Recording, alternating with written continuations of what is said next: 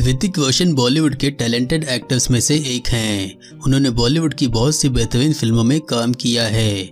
उनकी फ़िल्म अग्निपथ भी एक बेहतरीन फ़िल्म है और ये फ़िल्म बहुत हिट हुई थी। इस फ़िल्म में ऋतिक रोशन के अलावा संजय दत्त और प्रियंका चोपड़ा भी हैं। हम सभी जानते हैं कि सभी ने फ़िल्म में शानदार काम किया था, लेकिन इस फ़िल्म में एक एक्ट्रेस और थी, जिसने ऋतिक रोशन की बहन का किरदार निभाया था।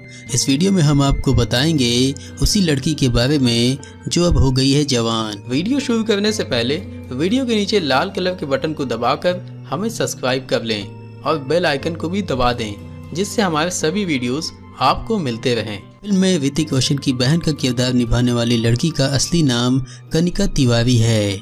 कनिका का जन्म उन्नीस सौ छियानवे को भोपाल में हुआ था। कनिका ने अपनी पहली फिल्मी करियर की शुरुआत मात्र 14 साल की उम्र में फ़िल्म मर्डर 2 से की थी। 2011 में आई मर्डर 2 में कनिका एक बहुत छोटे से रोल में नज़र आई थी।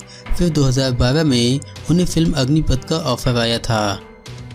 अग्निपथ में कनिका ने वैदिक रोशन की बहन शिक्षा चौहान का किरदार निभाया है।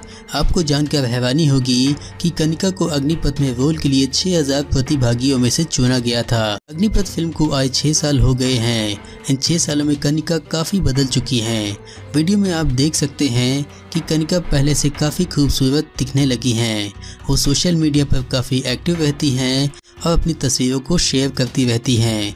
आप इनके बारे में क्या कहना चाहेंगे, कमेंट करके ज़रूर बताएँ। अगर आपको ये वीडियो अच्छा लगा हो तो लाइक शेयर और कमेंट ज़रूर करें। और साथ में ऐसे ही नए वीडियो देखने के लिए हमारे चैनल को सब्सक्राइब भी कर लें।